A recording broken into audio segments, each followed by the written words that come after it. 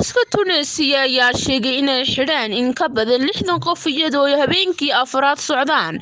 Dibadbaxyo rabshado wata islamarkaana dadka mudaharaadaya ay dib ugu soo laablaabanayaan waddooyinka waaweyn ee dalkaasi. Iyagoo ayna boolisku islamarkiiba ay dareerinayaan isniintii shalay ahayd dadweynaha mudaharaadaya oo u badan dhalinyaro ayaa mar kale isugu soo baxay bartamaha caasimada tuneesiya iyaga oona dhagax iyo bambooyin shidaal ku samaysan ku tuuraya booliska. Ciidamada ammaanka ayaa ku kala eriyey sunta dadka kaga ilmaysiisa waahibo ibraahim ismaaciil v